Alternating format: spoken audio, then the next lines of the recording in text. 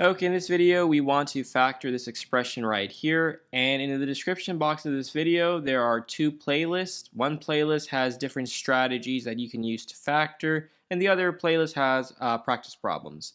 Um, so let's begin.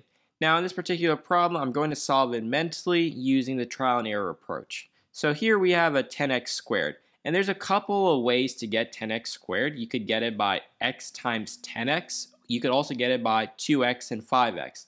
And this method is, you know, the trial and error approach, so let's just try something.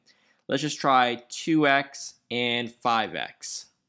Okay, next we have a negative 10, so we need to think of two numbers to multiply to give us negative 10. We have 1 times negative 10 and the reverse. The reverse meaning 10 times negative 1 and uh, 2 times negative 5 and the reverse. So we got to try something. And with practice, you'll be able to spot it more easily. Uh, but for now, let's just try, I don't know, uh, 10 and negative 1. And then we'll see whether this works or not. So 2x times 10 is 20x. 5x times negative 1 is negative 5x. And 20x minus 5x is 15x, not negative 21x. So this is a bad combination. Next, we can try making this into a plus 2 and this one into a negative 5, and we'll try it. So 2x times 2 is 4x. 5x times negative 5 is negative 25x. And negative 25x plus 4x is in fact negative 21x. So this right here is correct.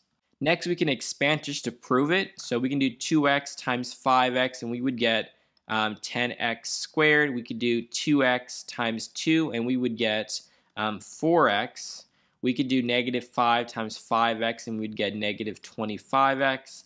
And lastly, we can do negative 5 times 2 and we would get negative 10. And we can see if it matches. Negative 10 matches, 10x squared matches, and 4x minus 25x is in fact negative 21x. So this is correct.